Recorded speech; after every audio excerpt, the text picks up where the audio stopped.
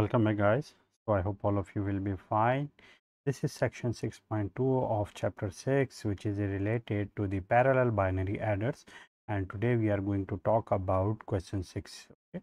So uh, the statement of question 6 is the circuit shown in figure 6.71 so this is figure 6.71 is a 4-bit circuit that can add or subtract numbers in a form used in computers. Okay, positive numbers in true form and negative numbers in complemented form.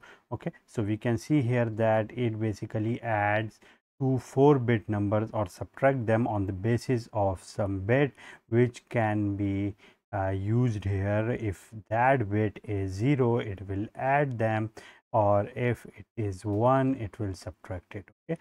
So on the basis of it you can see that it can use it as a subtractor or adder okay? So uh, there are two parts here in this question. So in part a of it we, uh, we have to explain what happens when add uh, complement slash subtract input is high okay? If this is high what will happen? And what happens when add subtract is low? So there are two cases so as i have told you that there are two cases here as well. When this is 0 it will work as a uh, adder and if it is 1 it will work as a subtractor.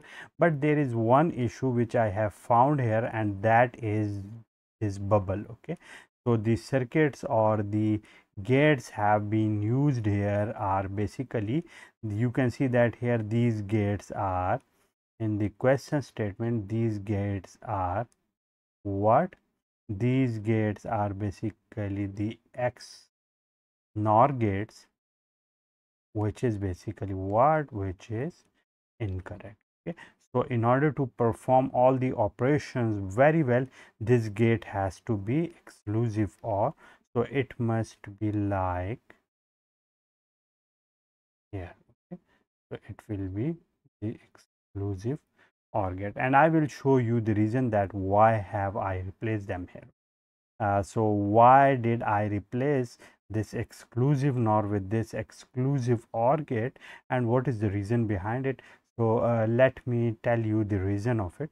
So uh, when you have two bits just like these one this is 1 1 and this is 1 0 if you want to add them you will add them uh, as you can do in a simple binary addition that 1 will be added with the 0 okay we can see that it will be added with this 0 while this 1 will be added with it.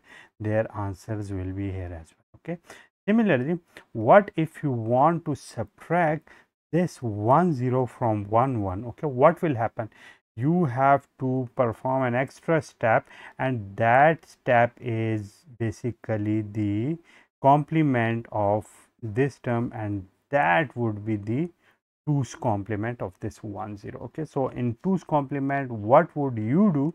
Okay so here uh, let me do it here as well. So first of all you will write the first one then you have to take the 2's complement of this uh, term. So, therefore, in order to find the 2's complement first you have to calculate its 1's complement.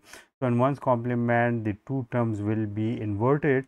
So, 1 0 will become 0 1 okay.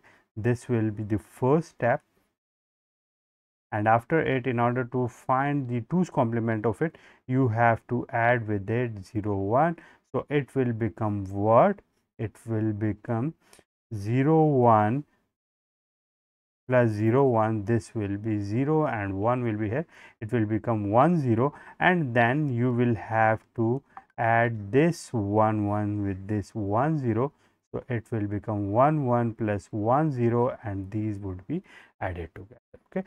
So there would be some additional uh, tasks here and that those tasks will be first you have to write a number then you have to find the ones complement and then you have to add 1 with it. So uh, this would be the subtraction. Okay so in order to perform it here which gate is suitable and uh, how can we invert the Uh, second bit stream okay and also add the ones here. That is basically the question and we will try to find out the answer of it. So let me first remove all of these okay. So okay. So as we have removed all of them so what will happen? We have basically two uh, very special gates and those are basically exclusive OR gate okay? And what is the truth table for it? So if i have a if i have b and if i have the output of it so what will be the output? In this case if i have 0 0 0 1 1 0 and 1 so we can see that this is what this is the input combination and what does exclusive OR do? The functionality of exclusive OR is if any of the two numbers is different okay we have to get output equal to 1 so in this case and in this case we can see that uh, b is 1 while 0 a, while a is 0 similarly here a is 1 while b is 0 so we can see that in this combination there is a difference uh, in the combination and therefore we can also get here 1 okay. Similarly here we can see that this is 0 0 this is 1 1 so uh, these are basically the similar ones. So therefore the output here will be 0 as well. Okay. Uh, similarly this gate can also be represented by a logic gate which like this one and here we have here a b and the output. Okay, so this is what this is the exclusive or similarly another gate we have here will be exclusive NOR gate. Okay so in case of exclusive NOR gate we have again two combinations two inputs a b and the output. Okay so uh, the combination input combinations are 0 0 0 1 1 0 and 1 1 okay? So um, as we can see that this is the opposite of it. And in this case in the case of the exclusive NOR we will get the output equal to 1 if the two inputs are similar okay? So these two inputs are similar in case of 0 0 and 1 1 so therefore will be 1 here and it will be 1 here. Uh, here a and b are distinct so it will be 0 here okay uh, similarly uh, the logic gate which can denote the exclusive or NOR condition can be represented here okay. And this will be here a b and here the output okay. Uh, similarly here we can also represent it by output is equal to a with this symbol and this b while here the output is equal to a dot this circular and this. So, these are the two combinations. So, uh, this is a very simplified uh, truth table for the exclusive OR and exclusive NOR, but there is another perspective of looking at them. Okay, We can see that here if uh, the input A is 0, the output or the B combinations will be reflected here. If a is 0 the output will be equal to the bb and b is at, we can get at the output b which is not inverted or in the similar form. Similarly here we can also see that in another form this a can also be 1 if a is changed into 1 we can see that b can be ref reflected to the output terminal such that b is inverted and gives me this 1 similarly this 1 gives me output equal to 0 okay? So uh, there is a case that if a is 0 the output is uh, equal to b. And similarly if a is 1 the output is the inversion of b okay so this is another perspective of looking at it.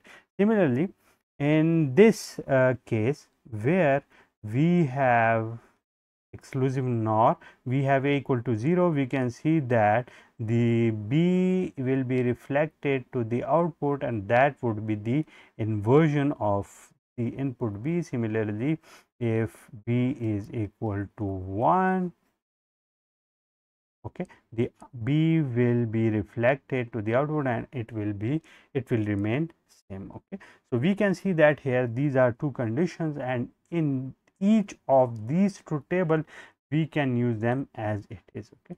So in this video i have told you that how to use exclusive or exclusive NOR in different conditions and i will continue to the same circuitry in our upcoming video till then you should have to absorb the concepts which are related to the exclusive or that if the value of a is 0 the output will be equal to b. If the value of a at the input of the exclusive OR gate equal to 1 the output will be the inverted version of the so uh, that's it for uh, today.